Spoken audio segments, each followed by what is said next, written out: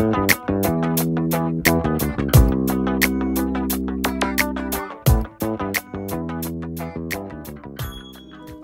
my dear students my name is Priyal I welcome you all to the M M academy hopefully आपको last class काफ़ी अच्छी लगी होगी probability की। Last class में मैंने आपको वो ट्रिक सिखाई थी कॉइन से रिलेटेड जिनमें आप विद इन सम सेकेंड्स ही कॉइन्स के क्वेश्चन क्या कर सकते हो क्रैक कर सकते हो। ओके अब मैं आपको डाइस बॉल एंड कार्ड्स की शॉर्ट ट्रिक सिखाती हूँ। बट उससे पहले आपको एक काम करना है। सबसे पहले तो आपको M M academy app download करना है। नेक्स्ट अगर आपने चैनल सब्सक्राइब नहीं किया है तो प्लीज़ सब्सक्राइब करें, जिससे आपको मेरी नोटिफिकेशन मिलती जाए। थर्ड हिट करें लाइक बटन और फोर्थ आप कमेंट करें आपको कैसा लगा सेशन ओके तो अब हम बिना टाइम वेस्ट किए डायरी डाइस के क्वेश्चन देखते हैं। ओके देखिए, अब देखिए डाइस से क्वेश्चन स्टार्ट करने से पहले मैं थोड़ा सा आपको बेसिक बता देती हूँ कि डाइस में हम टोटल प्रोबेबिलिटी कैसे निकालते हैं। जैसे हमने सिंपली सीखा था काय में कॉइन्स में। कॉइन्स में हमने कैसा सीखा था? हमने सिंपली नंबर ऑफ़ फेसेस का क्या कर दिया था? पावर कर दिया था, जिसको बोलते हैं हम एन और ये क्या आ जाता था आपकी? टोटल इवेंट्स का फॉर्मूला होता था। ओके अब जो आपके कॉइन्स रहते थे, हर एक कॉइन में दो फेस होते थे, एक हेड और एक टेल ओके तो यहाँ पे फेस की वैल्यू क्या होती थी? कॉइन के केस में दो होती थी। और अगर आपने एक कॉइन लिया तो इसका पावर क्या बन जाता था? वन तो ये हो जाते थे total event which is two only अगर आपके दो कॉइन रहते थे, तब भी फेस टू टू ही मेंटेन रहते थे। ओके लेकिन पावर क्या हो जाती थी? टू हो जाती थी। तो आपके टोटल इवेंट क्या जनरेट हो जाते हैं? टू की power two which is four ऐसी सपोज़ आपकी अगर पाँच कॉइन है, पाँच कॉइन है तो इनकी फेस कितने हैं? दो हैं। तो पावर क्या हो जाएगी? पाँच टू की power five thirty two okay तब आपके टोटल नंबर ऑफ़ केसेस आप ऐसे निकाल सकते हो। अब यही कंसेप्ट आप काय में यूज़ करोगे? डाइज में यूज़ करोगे। कैसे? देखिए, अब देखिए, जब भी आप डाई को उछालते हो तो उसमें कितने फेसेस आने के चांसेस रहते हैं? देखिए, आप नंबर ऑफ़ फेसेस कैसे निकालते हो? डाई में वन आएगा टू आ सकता है, थ्री आ सकता है, फोर आ सकता है, फाइव आ सकता है, फिर सिक्स आ सकता है। ये आपका फेयर डाई वाला केस हो गया। ओके, आपका फेयर डाई नहीं है तो उसमें कोई भी नंबर जो मेंशन रहेगा वो आएगा। ओके, अभी फेयर डाई वाला हम कंसेप्ट बाद में सीखेंगे क्वेश्चन के साथ। ओके, अब यहाँ पे आपको क्या है, टोटल आपको कितने फेसेस मिल रहे हैं? टोटल आपको छह फेसेस मिल रहे हैं। तो यहाँ पे फेसेस की वैल्यू कितनी हो जाएगी? छह।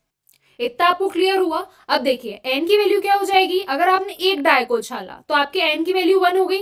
अगर आपके पास दो डाय हैं तो एन की वैल्यू क्या हो गई? टू हो गई। अगर आपके पास पाँच डाय हैं तो एन की वैल्यू कितनी हो जाएगी? एन की वैल्यू सिंपली फाइव हो जाएगी। तो देखिए, अभी आप वन डाय का ले रहे हो तो पावर वन जनरेट हो गई तो आपके टोटल नंबर ऑफ़ इवेंट कितने हो गए? छह हो गए। अब देखिए, इसी में अगर आप दो डाय को ले लेते हो, अगर आप दो डाय को लेते हो तो सिंपली आपके केसेस कैसे बनते हैं?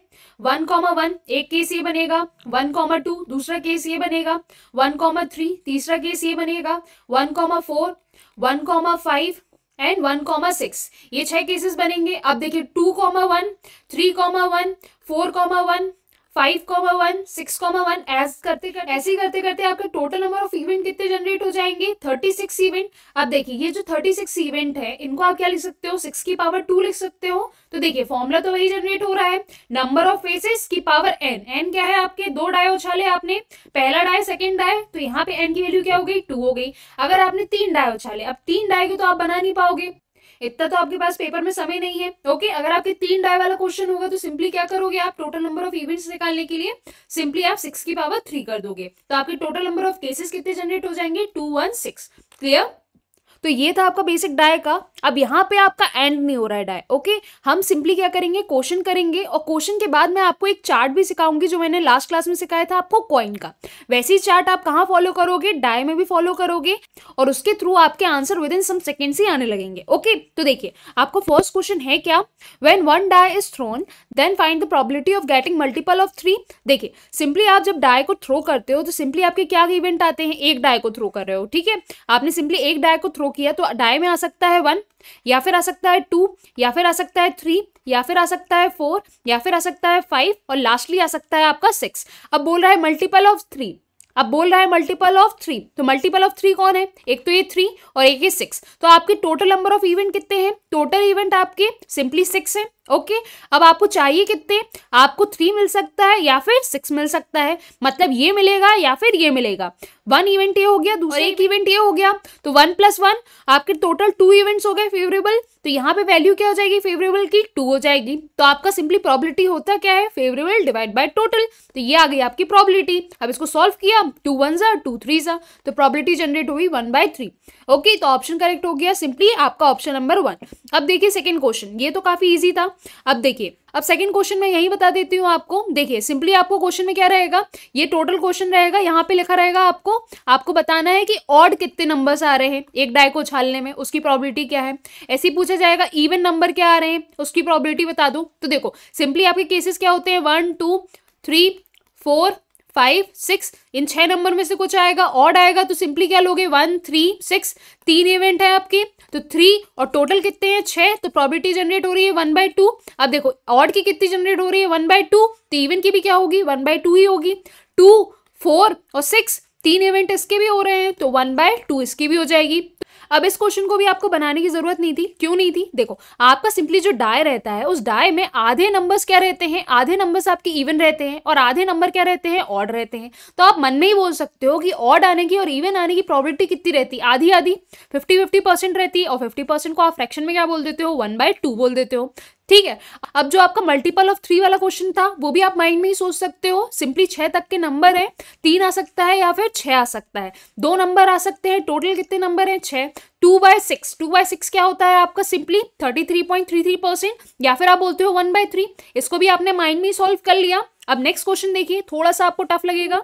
अब नेक्स्ट क्वेश्चन देखिए। When two dice are thrown simultaneously then find the probability that the sum of the digits of the both the face is eight अब देखिए, आपने सिंपली क्या किया इस केस में? बोला जा रहा है आप दो डाय लो।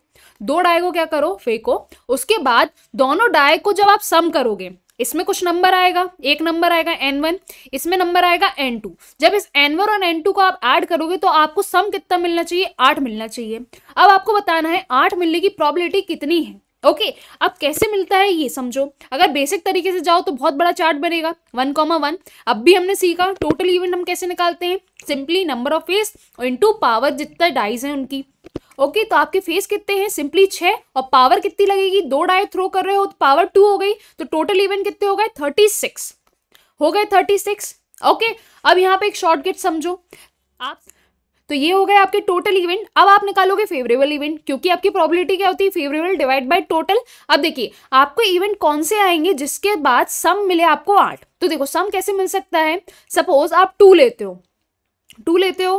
अगर पहले डाय में आपका टू आया और सेकेंड डाय में आपका क्या आया? सिक्स आया। ओके तो आपको सम क्या मिल रहा है? आठ मिल रहा है। अब देखो थ्री लेते हो थ्री के साथ क्या मिलना चाहिए आपको? पाँच। तो इन दोनों का सम कितना हो रहा है? आठ हो रहा है।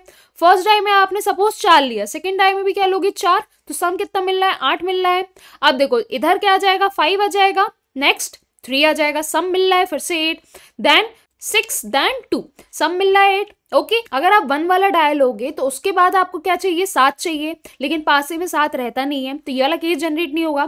तो टोटल केस जनरेट कितने हो रहे हैं? एक दो तीन चार पाँच। पाँच केसेस जनरेट हो रहे हैं तो फाइव और टोटल प्रॉबिलिटी कितनी है? थर्टी सिक्स तो five by thirty six answer आ रहा है। अब यहाँ से आपने बहुत लॉन्ग किया, पूरा सम करके देखा। अब आप देखो कि शॉर्टकट क्या है इसका। अब शॉर्टकट सिंपली ये है आपका कि देखो, आपका बोला है सम कितना चाहिए? आपको आठ चाहिए। और इस आठ सम से डायरेक्टली आप कैसे निकाल सकते हो? देखो, आठ में आप क्या ऐड करोगे कि इन दोनों को सम करने पे आपको टोटल वैल्यू तेरह मिले। ठीक है? आठ बोला है ना, आपको सम कितना चाहिए? दोनों डाइस को फेंकने के बाद आपको सम आठ चाहिए। तो उसी सम में आप क्या ऐसा नंबर ऐड करोगे कि आपको दोनों का समीशन मिल जाए तेरह?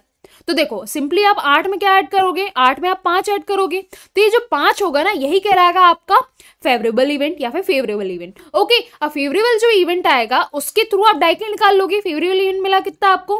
फाइव मिला। ओके टोटल इवन क्या होता है? सिक्स की पावर टू क्योंकि दो डाय है तो five divide by thirty six यहाँ से डायरेक्टली आंसर आया। अगर सपोज़ यहाँ पे आप इसकी जगह लेते, ये एट नहीं रहता। आपको चाहिए सपोज़ सम टेन मान लिया हमने। अब बताओ, इस जो सम है सम कितना है? टेन। इस सम में आप ऐसा कौन सा नंबर ऐड करोगे कि आपको दोनों का समीशन कितना मिले? दोनों को ऐड करने पे तेरह मिले। अब देखो, यहाँ भी आप डायरेक्टली बोल सकते हो, वो नंबर क्या हो जाएगा हमारा? थ्री हो जाएगा। अब यही थ्री क्या हो जाएगा आपका? फेवरेबल इवेंट तो देखो, आपकी प्रॉबिलिटी जनरेट कितनी हो जाएगी? Simply favourable by total total क्या होता है? थर्टी सिक्स अब भी निकाल रहे हैं बार बार। थर्टी सिक्स आपका फेवरेबल कितना निकला? तीन। तो थ्री बाई थर्टी सिक्स हो गई प्रॉबिलिटी अब यहाँ पे प्रूफ भी करके देख सकते हैं। देखो, आपको सम चाहिए कितना? दस। अब सम दस कब आ सकता है? सिंपली आपके तीन केसेस जनरेट होते हैं जिनमें सम आएगा दस। कौन कौन सा केस देखो, सबसे पहला केस आप छह को ले लो। छह के साथ कौन होना चाहिए? चार होना चाहिए। उल्टा भी हो सकता है, चार को ले लिया। उसके साथ कौन होना चाहिए आपका? छह होना चाहिए, या फिर पाँच को लिया, पाँच के साथ पाँच होना चाहिए। अब इन तीस केसेस के अलावा कोई भी ऐसा केस जनरेट नहीं होगा जिनमें सम मिल रहा हो आपको दस। ओके तो देखो, यहाँ पे आपको थोड़ा सा टाइम लग रहा है। अब यहाँ पे आपको टाइम नहीं लगा। तो इस टाइम को अवॉइड करने के लिए सिंपली हम ये ट्रिक यूज़ करते हैं। अब आप पूछोगे कि मैम आपने सम इनका थर्टीन क्यों लिया? अब सीखो एक चार्ट जो हमने सीखा था कॉइन में, वैसे ही एक चार्ट सीखते हैं हम डाई के लिए। देखो, क्या होता है सिंपली आपको जो डाई होता है डाई में सिंपली आपको दो केसेस देखने पड़ते हैं। अब दो केसेस कैसे? देखो, आपके डाई में क्या क्या आ सकता है? सम तो देखो, अब हम बनाते हैं डाय में सम का चार्ट सम का चार्ट क्या है आपका? देखो सम चार्ट में सिंपली क्या करोगे? जब आप दो डाइस को क्या करते हो? उछालते हो। ये डाय बना लेते हैं, ठीक है? जब आप दो डाय को उछालते हो तो मिनिमम सम कितना आता है? एक आएगा पहले डाय में, दूसरे डाय में एक आएगा। मिनिमम दोनों का सम कितना जनरेट हो रहा है? दो हो रहा है। मैक्सिमम सम कितना जनरेट हो सकता है? पहले डाय में छह आएगा, दूसरे डाय में छह आएगा। मैक्सिमम टू मैक्सिमम कितना मिल सकता है? बारह मिल सकता है। तो बस आपका जो चार्ट है ना, दो से बारह तक वेरी करेगा। कैसे करेगा? देखो, दो लिखा, दो के बाद क्या मिल सकता है? तीन भी मिल सकता है, चार भी मिल सकता है, पाँच मिल सकता है, छह मिल सकता है। अब सात को लिखो आप यहाँ पे, ठीक है? अब उल्टा जाओ। सात के बाद आठ, नौ, दस, ग्यारह, बारह। समझ में आया चार्ट कैसे बनाना है? ठीक है? अब देखो, ये तो हो गया सम अब बताओ इनके इवेंट कितने हो सकते हैं? आपको दो कितनी बार मिल सकता है? नंबर ऑफ़ टाइम्स कितनी बार मिल सकता है? दो आपको बस एक ही केस में मिलता है, जब आपके वन कॉमा वन रहेगा। और बारह कितनी बार मिल सकता है? बारह भी आपको एक ही बार मिलेगा, छह कॉमा छह पे। इसका भी नंबर ऑफ़ इवेंट कितने हो रहे हैं? इसके नंबर ऑफ़ इवेंट वन हो रहे हैं, इसके ही वन हो रहे हैं। तो यहाँ पे नंबर ऑफ़ इवेंट चार्ट क्या हो गया? वन और ट्वेल्व का वन हो गया। अब देखो, आपका तीन और ग्यारह के नंबर ऑफ़ इवेंट्स कितने हो गए? पहले में वन दूसरे में टू पहले में टू दूसरे में वन दो ही मिल रहे हैं आपको यहाँ पे। तो देखो नंबर ऑफ़ इवेंट्स कितने हो गए इसके? टू ग्यारह भी कैसे मिल सकता है आपको? ग्यारह आपका सिंपली छह, पाँच पाँच, छह। इसके अलावा मिलेगा नहीं तो इसके भी नंबर ऑफ़ इवेंट कितने हो गए? दो। जितने हम बोल सकते हैं उनको फेवरेबल इवेंट हम एफ़ से बना देते हैं फेवरेबल इवेंट ओके अब देखो चार की बारी आई। अब चार कैसे कैसे मिल सकता है? टू कॉमा टू से मिल सकता है, और कैसे मिल सकता है? थ्री कॉमा वन से मिल सकता है, वन कॉमा थ्री से मिल सकता है। इसके अलावा मिल रहा है किसी चीज़ से? तो तीन इवेंट बन रहे हैं इसके। तो जब इसके तीन इवेंट बन रहे हैं तो इसके फेवरेबल इवेंट क्या हो गए? तीन हो गए। दस कैसे मिल सकता है? दस सिंपली आप देखो तो दस मिलता है आपका पाँच कॉमा पाँच। अब भी हमने बनाया था दस का। दूसरा क्या हो सकता है? चार कॉमा छः छः कॉमा चार, इसके अलावा नहीं मिल रहा है, इन तीनों इवेंट के अलावा। तो इसके फेवरेबल कितने आ रहे हैं? तीन आ रहे हैं। तो देखो, यहाँ पे ऐसी सीक्वेंस चल रहा है one comma two one two three next क्या जाएगा? फोर नेक्स्ट आएगा फाइव और नेक्स्ट आएगा आपका सिक्स ओके तो देखो, जब भी आपको सम बोला जाए टू ओके अब इसको वैलिड कैसे कराना है, वो भी समझ लीजिए थोड़ा सा देखिए देखिए, ये आपकी एक रो हो गई और ये आपकी दूसरी रो हो गई। मान लेते हैं, इसको मान लेते हैं रो वन सॉरी इसको मान लेते हैं रो टू। और ये सेवन क्या है? दोनों के लिए कॉमन है, ठीक है? अब देखो, जो आपका रो वन है ना, रो वन रो वन में सिंपली क्या करोगे आप? माइनस वन कर दोगे तो आपको नंबर ऑफ़ इवेंट्स मिल जाएँगे, फेवरेबल इवेंट। देखो, आपको सम चाहिए सपोज़ टू तो इसके फेवरेबल इवेंट क्या हो जाएँगे? टू माइनस वन, मिल रहा है ना ये वन? यहाँ पे सपोज़ आपको सम चाहिए चार चार सम चाहिए तो सिंपली चार में से माइनस कर दो एक। नंबर ऑफ़ फेवरेबल इवेंट कितने जनरेट हो रहे हैं? तीन हो रहे हैं। यहाँ पे सपोज़ चाहिए आपको छह। छह में से माइनस कर दो एक। कितना मिल रहा? है पाँच मिल रहा है। तो ये सिंपली पाँच हो गया। ओके अब इस तरफ़ आओ। रो टू के तरफ़। रो टू में क्या करोगे आप? रो टू में सिंपली आप देखोगे कि नम कि नंबर में आप क्या ऐड करोगे ऐसा नंबर कि आपको सम मिले तेरह। देखो, बारह में आप क्या ऐड करते हो कि सम मिले तेरह? बारह में एक ऐड करोगे तो तेरह मिलेगा। तो ये एक क्या हो गया? फेवरेबल इवेंट ग्यारह में क्या करोगे ऐड टू को करोगे तो सब मिल रहा है तेरह। दस में क्या करोगे? तीन करोगे तो तेरह मिल रहा है। नौ में चार करोगे, तेरह मिल रहा है। पाँच में आठ में पाँच करोगे तो तेरह मिल रहा है। इतना समझ में आया? तो आपको रो टू की तरफ़ क्या करना है? देखना है सम करने पे तेरह कैसे मिलता है, ठीक है? और रो वन में क्या करना है? सिंपली एक माइनस कर दो। तो यहाँ से फेवरेबल इवेंट मिलेंगे। अब देखो, जो आपका ये सात वाला है, इसमें दोनों कंडीशन वैलिड होती है। सात में से एक माइनस करोगे रो वन माइनस वाला केस करोगे, सात माइनस वन करोगे, छह मिल रहा है, और यहाँ पे ये वाला भी वैलिड होगा। सात में जब ऐड करोगे आप समथिंग तो आपको तेरह मिलना चाहिए। क्या ऐड करोगे? छह। सात में जब छह ऐड करते हो तो तेरह मिल रहा है तो मतलब ये दोनों तरफ़ खेलेगा।